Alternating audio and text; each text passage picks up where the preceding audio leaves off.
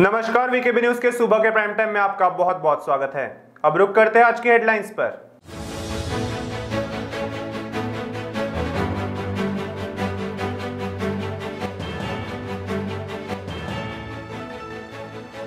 नागपुर में मिला ओमिक्रॉन का दूसरा मरीज़, शहर में मिला ओमिक्रॉन का मरीज़, एम्स में भर्ती, दस दिन बाद होगी जाँच।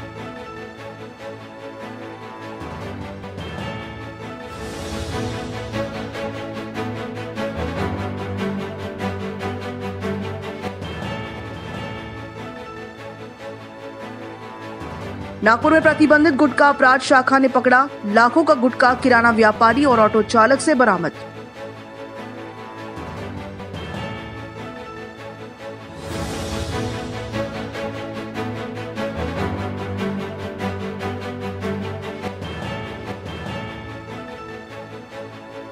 और रुपए उठाने के लिए दौड़ा था मृतक। नन्हा शुभम बस पर पथराव करने वालों पर मामला दर्ज। उमरेड मार्ग पर हुआ था हादसा।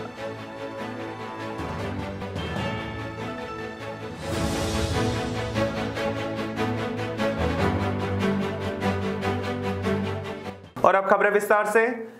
गुरुवार को कोरोना के नए वेरिएंट ओमिक्रॉन का दूसरा मरीज़ नागपुर में मिला है। दुबई की यात्रा कर लौटे इस मरीज़ का एम्स में उपचार चल रहा है। प्रशासन ने साफ़ कह दिया है कि ओमिक्रॉन से डरने की ज़रूरत नहीं है। प्रशासन इसके लिए ज़रूरी तैयारियाँ कर ली हैं। हालाँकि, प्रशासन ने नागरिकों से अपील की है कि कोविड से जुड़े दिशा निर्देशों का कड़ाई से पालन करने से ही कोविड के नए वेरिएंट के संक्रमण से बचा जा सकता है। सर्वाधिक मरीज़ महाराष्ट्र में मिलने से हालाँकि प्रशासन चिंतित है। दुबई से संक्रमित 21 वर्षीय मरीज़ धंतोली निवासी है। वह लौटा है 18 दिसंबर को दुबई से। 19 दिसंबर को उसकी रिपोर्ट पॉजिटिव आने पर उसे एम्स में भर्ती करवाया गया। इस दौरान उसके नमूनों को जिनोम सीक्वेंसिंग के लिए प्रयोगशाला में भेजने पर उसकी रिपोर्ट पॉजिटिव आई है। दस दिन के बाद उसकी फिर से कोरोना जाँच किए जाने की जानकारी एम्स के डॉक्टरों ने दी। पहला मरीज़ होम क्वारंटाइन अफ्रीका से लौटे 40 वर्षीय पुरुष की 6 दिसंबर को कोरोना की रिपोर्ट पॉजिटिव आई थी। ओमिक्रॉन की पुष्टि होने के बाद ज़रूरी इलाज के बाद उसे एम्स से छुट्टी दे दी गई और होम क्वारंटाइन कर दिया गया। एम्स में ओमिक्रॉन संक्रमितों के लिए अलग व्यवस्थाएँ की गई हैं। आयुष इमारत में 50 बेड आरक्षित रखे गए हैं। वहीं पाए गए ओमिक्रॉन के मरीजों में डॉक्टरों के अनुसार कोई लक्षण नज़र नहीं आ रहे। इस तरह नागपुर में अब ओमिक्रॉन संक्रमित मरीजों की संख्या दो पर पहुँच गई है। खापरी परिसर स्थित गोदाम में गुरुवार सुबह भीषण आग लग गई। इसमें खाद्य सामग्री और इलेक्ट्रॉनिक सामान जलकर खाक हो गए। मिली जानकारी के मुताबिक 14 मील रोड से सटकर वीरेन ठक्कर का वेयरहाउस है।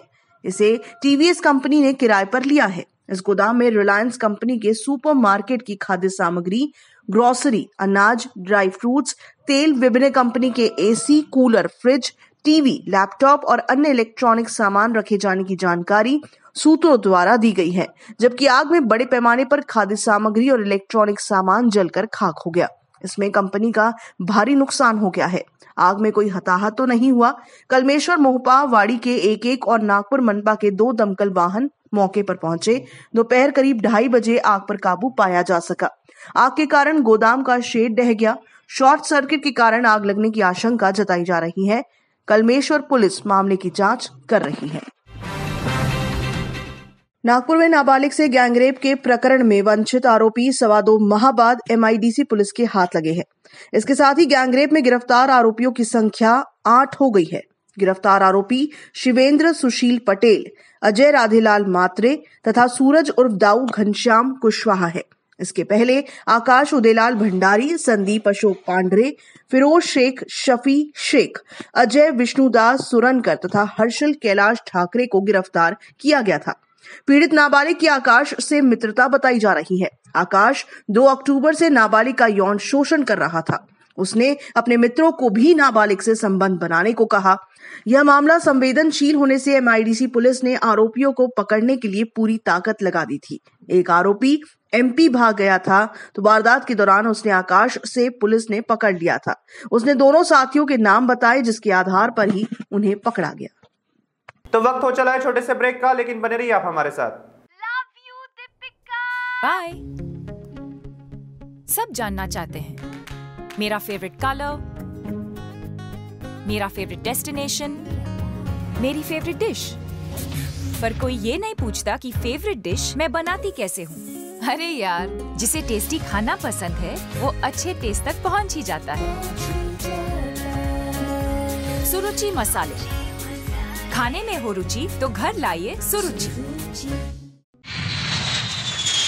अपने सपनों की उड़ान भरने की इच्छा तो हर किसी की होती है। पर पंख भी तो मज़बूत होने चाहिए।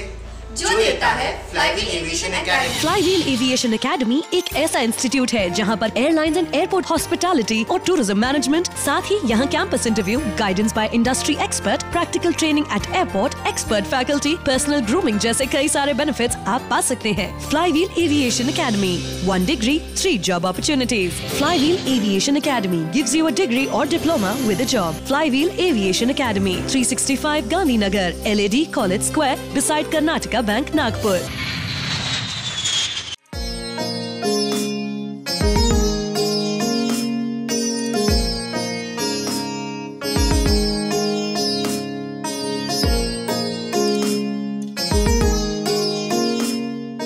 तो ब्रेक के बाद आपका फिर से स्वागत। नागपुर में मामा की बारात में शामिल बालक को बारातियों द्वारा उड़ाए गए रुपए उठाने के चक्कर में जान गंवानी पड़ी। पुलिस की जाँच में इस आशय का पता चला। इसी बीच हुडगेश्वर पुलिस ने ट्रेवल्स बस पर पथराव करने वालों के खिलाफ मामला दर्ज किया। पुलिस ने नाबालिग सहित नौ लोगों के खिलाफ मामला दर्ज किया है।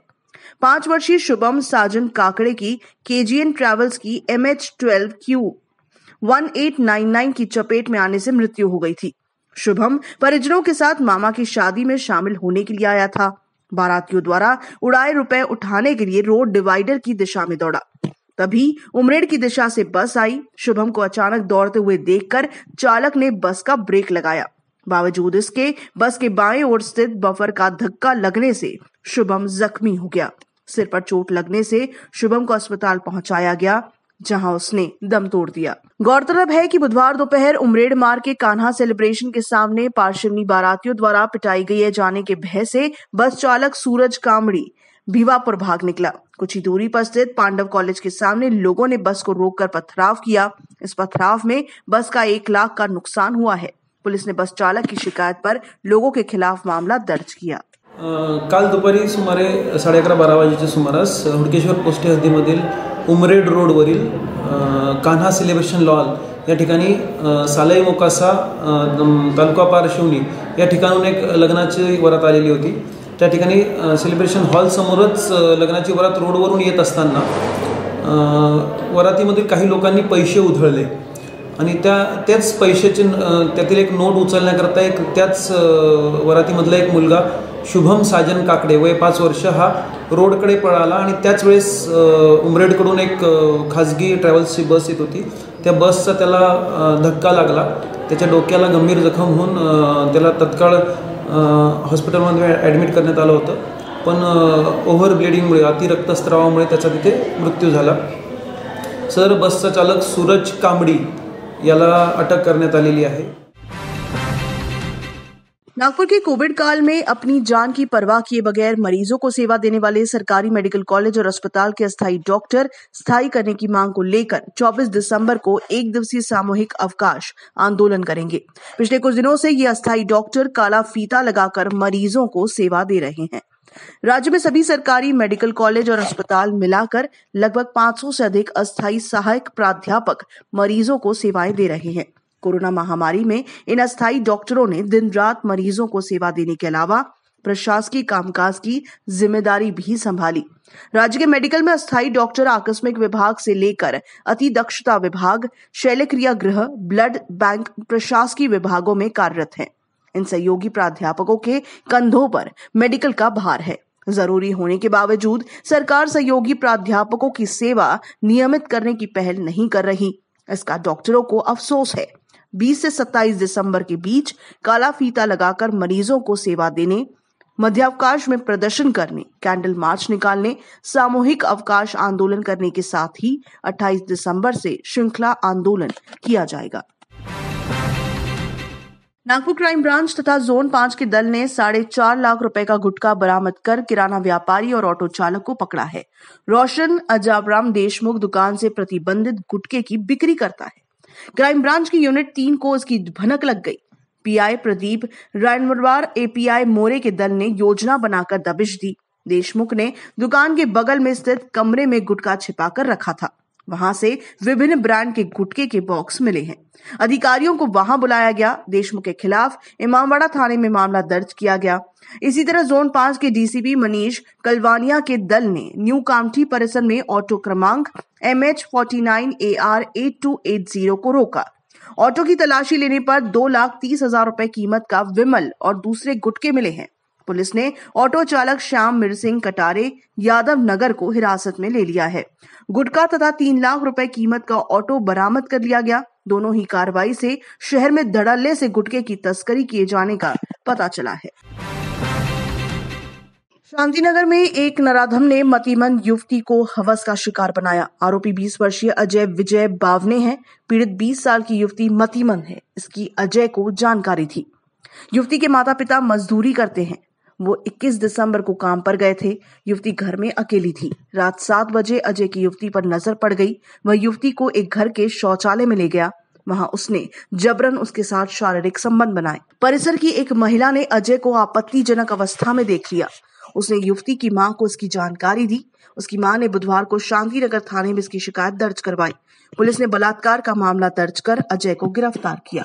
तो सुबह के प्राइम टाइम में बस इतना ही, लेकिन अन्य खबरों के लिए देखते रहिए आप वीके बी न्यूज़ नमस्कार।